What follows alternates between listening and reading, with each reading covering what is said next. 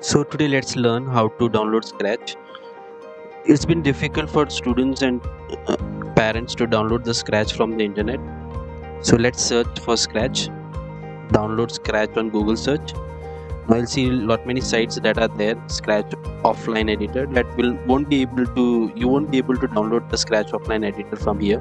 So you'll have to go down download Scratch.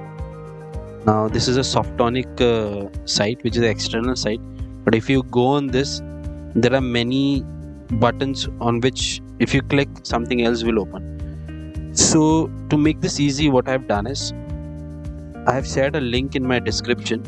You need to just click on that link and you'll be directed to my google drive from where you can easily download the scratch software.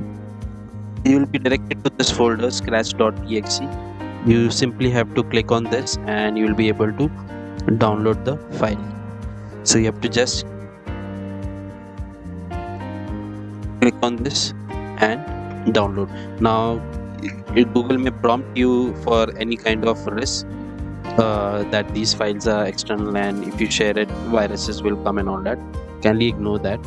It's a safe file that i have downloaded. Instead if you download from any other websites it will be really difficult for you to download and you will be downloading any other apps which you may not be using it so i recommend you just click on this download button and it will scan. You have to see and the file will start downloading here below. You can see. So it would be very easy for you to download and then you can run the program and install it